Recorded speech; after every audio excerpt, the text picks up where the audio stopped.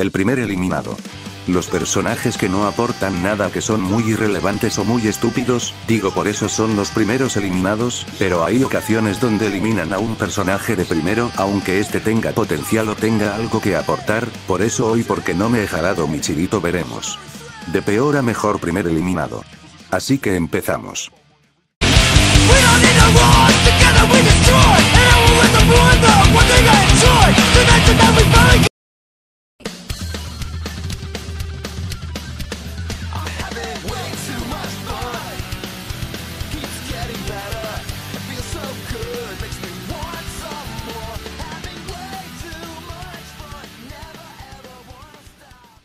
Geazi Bridget de la segunda temporada.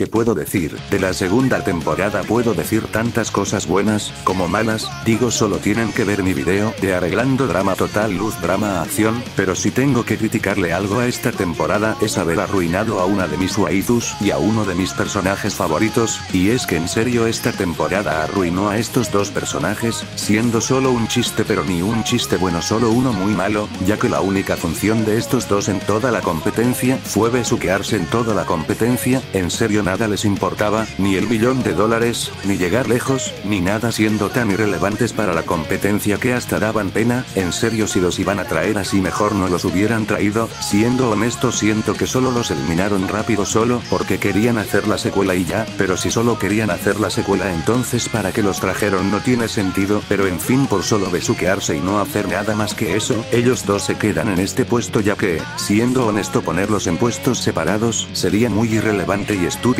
ya que en esta temporada son los mismos personajes, besucones y irrelevantes de siempre, ya que no hay diferencia entre estos dos, ya solo faltaba que cogieran en el escenario, de hecho cada que había una escena de estos dos pensaba, Cuando cambia una porno. y es que en serio parecía que había puesto Golden a las 12 de la noche, y es que en serio estos leyes se pasaban pero en fin, de milagro Bridget no salió embarazada, al menos los pudimos ver en la secuela ya que me parecieron mucho mejores en la secuela que aquí, pero eso no quita que estos dos son los peores competidores de drama total, ya que no hicieron nada y son tan irrelevantes que no afectan en nada a la trama de los episodios en los que estuvieron pero en fin.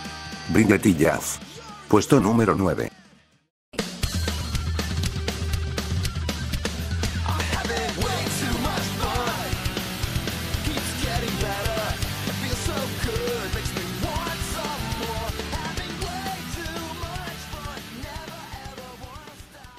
En el puesto 8 yo pongo a Birdo. ¿Qué puedo decir de Birdo? Es un personaje tan olvidable que ni me acordaba de él y no es porque sea el primer eliminado, sino que en serio en el único episodio que estuvo no hizo ni madres y solo fue insoportable en todo momento, el tipo solo fue hizo ruidos extraños, fue insoportable y ya, en serio eso fue lo único que hizo tanto que me pareció estúpido que hayan hecho a este personaje por lo menos algunos primeros eliminados son carismáticos, como es el caso de Lauren, pero este tipo tiene tanto de carismático, como yo de ligador o sea siendo un dolor de huevos en toda la competencia y es que en serio no se puede decir mucho de él ya que no salió mucho, no hizo ni madre y fue un estorbo y no contribuyó en mucho por no decirle nada en los desafíos y es que en serio, no me acordaba de este personaje, yo creo que ni los mismos creadores se acuerdan de este personaje, y es que en serio que tan culeras debieron ser las audiciones de los demás para que lo eligieran a él pero en fin, porque está más arriba que Bridget y Jazz, es fácil al menos él se esforzó en hacer algo nada más por eso lo pongo arriba ya que Bridget y Jazz ni eso hicieron esforzarse pero en fin, eso no le quita que es uno de los peores competidores de la historia de drama total.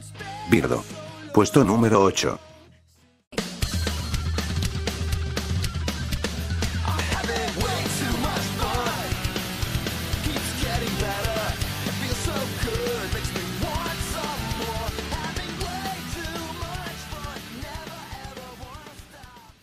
Este puesto queda la hablantina Stacy, pero porque Stacy se queda aquí, y en serio quieren que les responda esta tipa en toda la temporada no hizo ni madres, y es que en serio me pareció tan aburrida que no me genera nada al verla y es que en serio me gustaría que este personaje dejara de hablar en toda su vida, y es que en serio un personaje malo, aburrido y para más colmo con síndrome de vieja chismosa.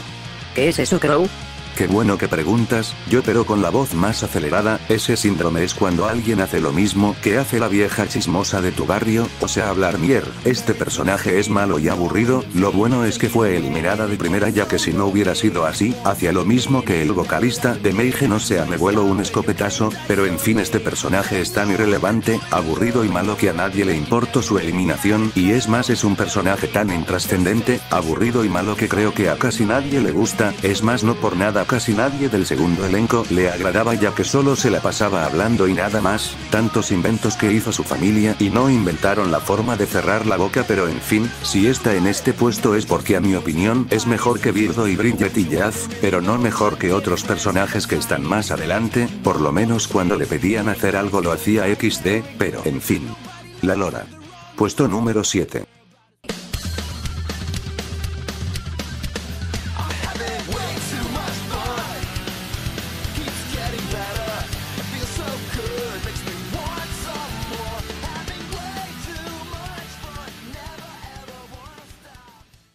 Puesto 6, tenemos a un personaje que fue decayendo al pasar de las temporadas, y que la verdad da pena verla en este top ya que este personaje es uno de mis favoritos.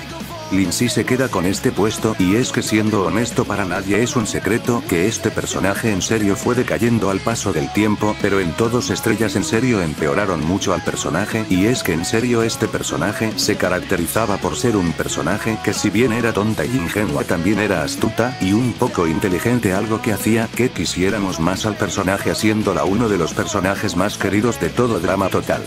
Sin embargo en todos estrellas se cagan en eso y es que en serio cuál fue la manía de hacer a este personaje tan mal y es que este personaje era como dije ingenua y un poco tonta pero al mismo tiempo inteligente, pero aquí la hicieron una completa estúpida y es que en serio cuál fue la manía de hacerla una idiota sin neuronas, ya que prácticamente no sabe hacer nada y es que en serio era tan idiota, inservible que no sabía hacer ni la cosa más mínima, con solo decirles que no sabía mover un carrito de bebé lo digo todo, es muy pendeja y estúpida sin mencionar que no ayudó mucho en el único desafío en el que estuvo siendo más que nada un estorbo ya que como dije la hicieron una idiota y una estúpida, si este personaje se queda más arriba es que los demás no hicieron la gran cosa, digo una solo hablaba y no se callaba, el otro solo hacía ruidos insoportables, y de estos dos mejor no digo nada, al menos Lindsay fue, no hizo nada y se fue sin pena ni gloria, pero eso no quita que esta fue una estúpida, una idiota y la peor versión de Lindsay, y es que en serio esta es y de calle la peor versión de Lindsay, y es una pena ya que este personaje era de los personajes más interesantes y queridos de todo drama total, pero en fin.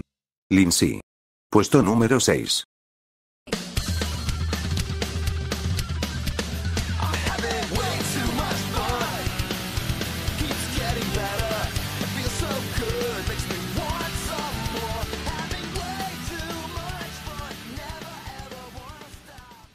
Sé que muchos estarán en desacuerdo conmigo, ya que puse a estos personajes tan alto, pero si soy honestos los anteriores eran peores que estos dos, si dos ya que tenemos a dos personajes en este puesto. Los ñoños se quedan en este puesto, si bien Carrera Alucinante nos dio a buenos competidores, hay que decir que también nos dio unos muy malos competidores, y entre esos malos competidores están los ñoños, personajes estúpidos y muy idiotas, sin mencionar que son muy malos competidores, ya de por sí Leonard siempre fue uno de los peores personajes de drama total no solo como personaje sino como competidor también siendo de los peores competidores de drama total, ahora imagínate tener a otro Leonard pero versión mujer y igual de estúpida en serio estos son personajes malos y muy idiotas, literal perdieron porque querían hacer un hechizo, para no perder en serio solo por esa mamada perdieron, se los juro. Yo cuando veía a estos dos personajes, me daban ganas de arrancarme los huevos con un cuchillo cebollero pero oxidado, y es que en serio estos personajes, fueron innecesario ponerlos y es que teniendo una gran cantidad de personajes en drama total como Katie y Sadie o las gemelas decidieron poner a Leonard y otra Leonard pero versión mujer, pero en fin de biluchos, y idiotas, la verdad son personajes muy estúpidos y si están hasta aquí es porque 1. No son los peores competidores de su elenco ya que todos sabemos que el peor equipo de carrera alucinante son los tenistas, 2. Porque estos al menos trataron de esforzarse un poco y que en serio trataban de ganar de una forma muy pendeja pero trataban de ganar al fin y al cabo pero en fin. Y 3 porque los otros competidores que había dicho anteriormente me parecieron peores que estos dos. Si los puse juntos es porque no hay diferencia entre ambos personajes y más bien como dije, son el mismo personaje pero con diferente diseño y en mujer, pero en fin. Leonard y la compañera a la que nadie le recuerda el nombre. Puesto número 5.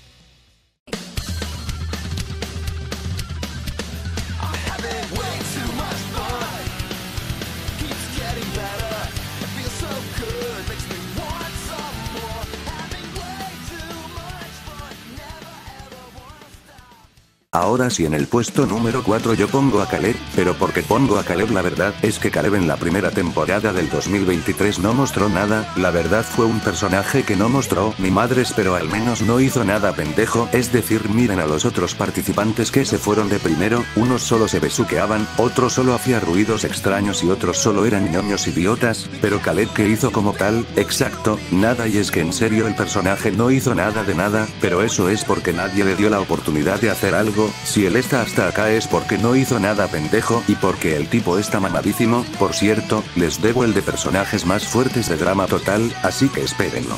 Aparte Caleb tenía potencial algo que está demostrando, véanse las comillas en la segunda temporada del 2023, al menos él es fuerte y si lo eliminaron fue por mala suerte y porque Bowie fue muy astuto y inteligente viéndolo como una futura amenaza, pero en fin este personaje solo tuvo mala suerte de ser el primer objetivo de Bowie, pero en fin. Khaled puesto número 4.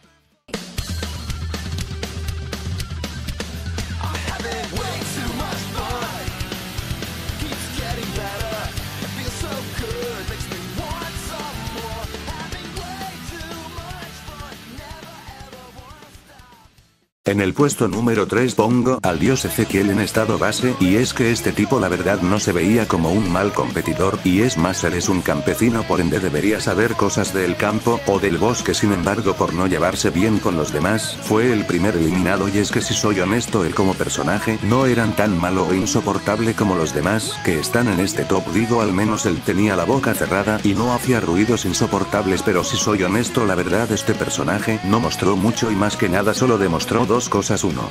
Tener más huevos que Corny y y ya que al menos el si salto del peñasco al lago. Y dos y la cosa más importante y eso es. ¡Machismo! Eso es, cabo, me gusta.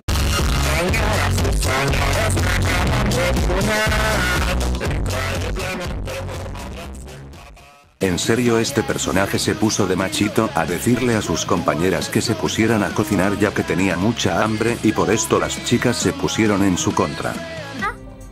Entiendo por qué perdimos, ¿ah? Son ellos los que tienen seis chicas. ¿Qué significa eso? Sí, campesino. Ilumínanos. Bueno, los chicos son mucho más fuertes y mejores en los deportes.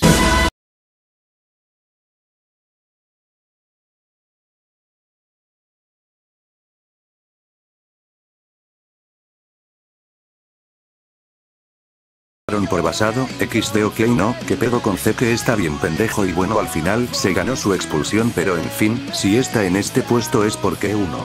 No fue insoportable si era bien machírulo pero no era tan insoportable y dos. Porque a comparación de otros personajes este sí cooperó para al menos intentar ganar el primer desafío algo que los demás ni hacían, y está arriba de Caleb porque él al menos sí hizo algo. Aparte es el dios Ezequiel no puedo dejarlo más abajo, no me quiero ir al infierno XD. El favorito de Dios. Puesto número 3.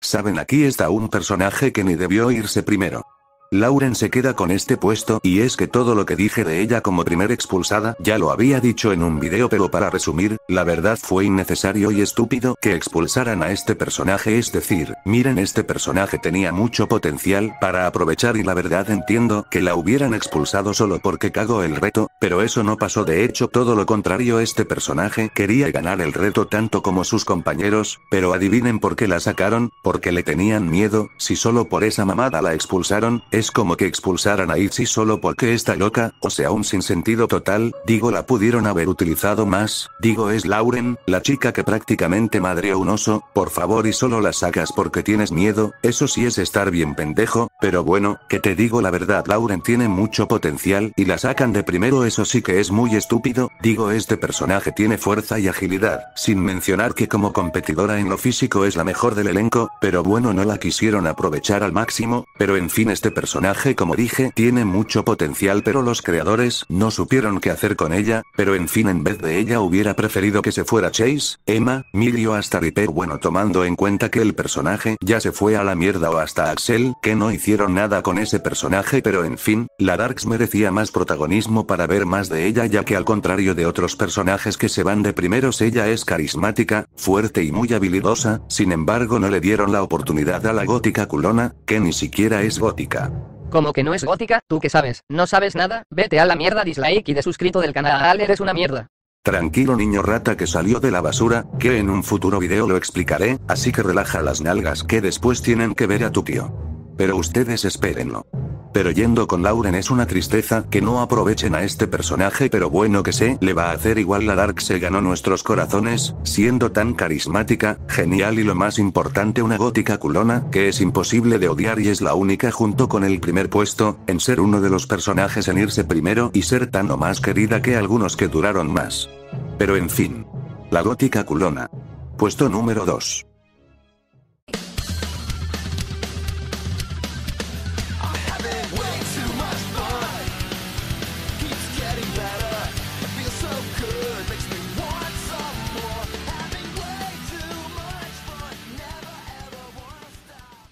Ahora en el puesto número 1 tenemos a un ser bastante loco y caótico. Ezequiel de gira mundial se queda con este puesto y ojo yo tomo como diferentes personajes a estos dos, uno es Ezequiel y el otro es el Ezequiel, el Ezequiel es una bestia salvaje que prácticamente tiene habilidades físicas notables, convivió con ratas en toda su estadía en la tercera temporada y eso más problemas mentales le dio superpoderes y una mutación muy grave algo que prácticamente lo volvió no solo más fuerte sino más ágil, veloz y muy astuto. Y es que a pesar de ser el primer eliminado este personaje tuvo cierto protagonismo en la tercera temporada, siendo más que nada un ser bastante peligroso, siendo uno de los seres más peligrosos de drama total, tanto así que en la cuarta temporada, en la isla Wawanakwa donde habían mutantes este los controlaba, demostrándonos lo fuerte que es este personaje, si soy honesto aquí el dios nos mostró todo su poder y toda su capacidad, entre sus hazañas están, someter a Duncan aunque este estaba distraído igual es algo sorprendente tomando en cuenta la gran fuerza física de Duncan, someter a mutantes en la isla Wawanakwa y su hazaña más grande sobrevivir a un volcán activo algo que es prácticamente imposible para un ser humano, esto lo haría alguien sobrehumano, este personaje lo que tiene de fuerte y peligroso lo tiene de enigmático, ya que no se sabe mucho de él pero lo que demostró lo haría fácilmente el personaje más fuerte de los primeros eliminados, ni Lauren podría hacerle algo así que, el Ezequiel, un dios un capo un ser todopoderoso el dios Ezequiel, sus desventajas son que no es tan inteligente, que no tiene conciencia y su mayor debilidad. El todopoderoso señor Coco que es el único que se le equipara a su gran y increíble poder, pero fuera de eso él es el competidor más peligroso de todo drama total, qué grande que sos Dios Ezequiel. Puesto número 1. Uy este video sí que estuvo largo y fue uno de los más largos de mi canal pero en fin, si les gustó el video dale like y suscríbete al canal para llegar a los 4000 suscriptores y para hacer más vídeos como este, en serio me ha gustado todo su apoyo a estos vídeos, inicie con este canal este año y no esperaba que en menos de 5 meses llegáramos ya casi a 4000 suscriptores así que gracias, y espero que el otro año sigamos haciendo que este canal crezca. Así que gracias por todo su apoyo. Un saludo a El Guasavero 80 y a Mateo Limático DT. Si quieres un saludo, ve y sígueme en Instagram, comenta en las publicaciones y te mandaré en el próximo video un saludo. Gracias y ya se la saben. Adiós y feliz año nuevo. Hasta pronto. Qué buena está la vocalista de Paramore.